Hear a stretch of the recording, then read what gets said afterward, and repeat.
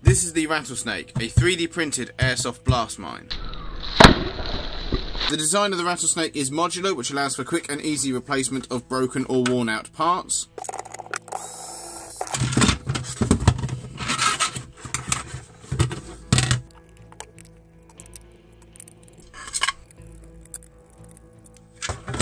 The Rattlesnake consists of three 3D printed parts, the chassis, the trigger plate and the shell clip. You'll need a length of M4 threaded rod with some M4 matching lock nuts, an M5 by 20mm bolt for the firing pin, and some 15mm wood screws with a countersunk head.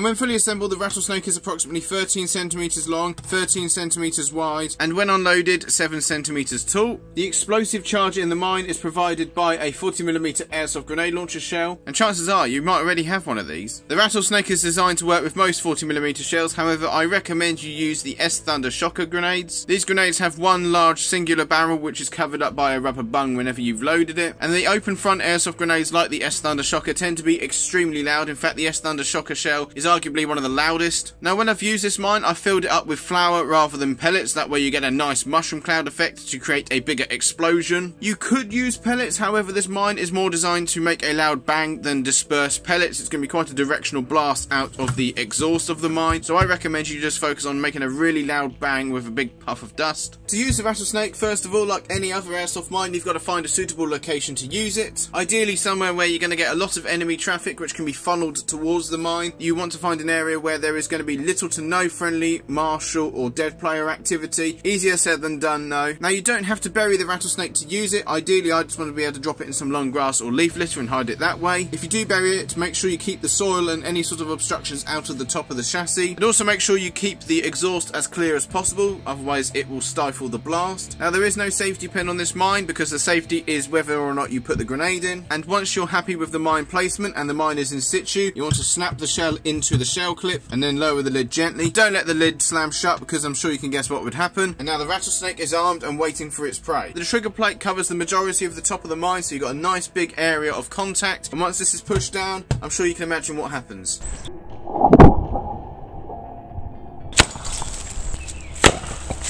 And if you're feeling really cheeky and you can get over to your mine once it's detonated, you can reload it in-game by pulling out the spent shell, chucking in a fresh one, shutting it up gently, covering it back up, and it's ready to go again. If you need to disarm the mine because it hasn't been detonated in the game, just lift the lid gently and remove the live shell like so. And just like with anything in Airsoft, presume it's live and loaded until proven otherwise. To transport the mine, I'm going to use my double claymore bag, which has two claymore pouches, and it turns out the rattlesnake fits more or less perfectly into that pouch. So I should be able to carry two of them on me, and if I carry the gas grenades in my tac vest, that will keep them separate. Now I printed this mine on a basic Ender 3, and as long as your print bed's at least 13 by 13 centimeters, you should be able to print this. Now I printed it in black PLA, which is not exactly the best color for this sort of thing, because it's going to have a really defined outline. What I'm going to do with it is I'm going to cut out some DPM woodland pattern, and I'm going to glue it on and try and camo it up. If you do end up burying this mine, make sure you lightly cover the top of it in foliage, leaf litter, uh, camo netting or grass or whatever you want to do. Don't put anything too heavy on it because the pressure plate is very sensitive. If you want to print your own rattlesnake blast mine then please make sure you check out the link in the description to my Cults page. There's also a lot more written information on the page about it and if you have any further questions please make sure you leave them in the comments. But if this isn't unconventional enough for you then make sure you check out this 3D printed airsoft ballistic knife.